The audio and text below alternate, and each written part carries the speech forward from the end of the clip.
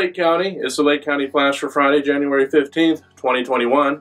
Here's your video news source for everything Oregon Outback. It's the Flash. Christopher Todd Hale pled guilty to three counts of burglary in the second degree, three counts of criminal mischief in the second degree, one count each of felon in possession of a firearm and possession of a stolen vehicle.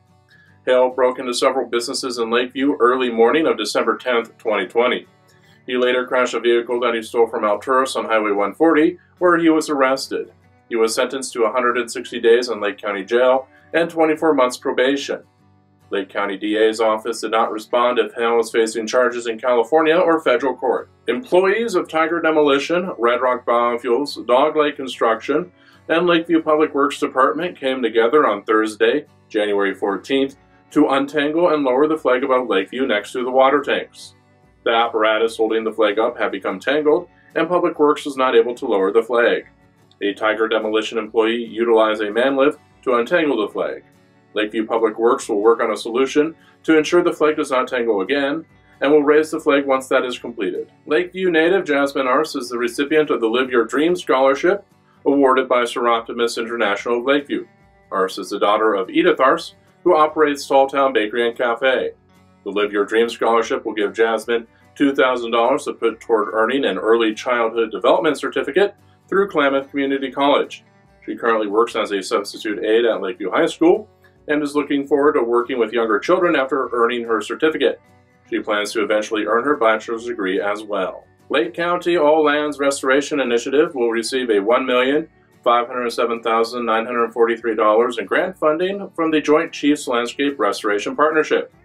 USDA Forest Service and Natural Resources Conservation Service are working together to improve the health of forests where public forests and grasslands connect to privately owned lands. The Restoration Initiative focuses on 402,400 acre landscape located 6 miles north of Lakeview. This landscape is important to Lakeview for recreation, timber production, and grazing resources. The grant funding will be used to create a resilient fire-adapted landscape while mitigating the threat of high-severity wildfire to dry forests, wildlife habitat, water quality, and surrounding communities. That does it for this week. Be sure to check out the online calendar to keep up with events happening around the county. Catch a new flash every Friday, the Lake County Hotspot every Tuesday, and for these stories and much more, be sure to pick up the next Lake County Examiner. It's a new year and time to get organized. Your local Ace Hardware, downtown Lakeview is stocked with the items you need to do just that. Now offering 27 gallon heavy duty storage totes on sale for $10.99 or 15 gallon for $8.99. Small 7.5 quart latching storage totes only $2.99. Other sizes are available. Ready to straighten up that extra room or garage? Then take advantage of our resin shelving unit for only $32.99 and our steel shelving units, which hold up to 350 pounds per shelf, are $59.99 with your rewards card. This is an excellent time of year to replace old or install new First Alert smoke alarms. We have a variety in stock and plug-in carbon monoxide alarms with battery backup. Staying healthy is on everyone's mind, so you might consider a handheld UV sanitizer on sale for $39.99. Stop by Ace Hardware, we have what you're looking for. Open daily.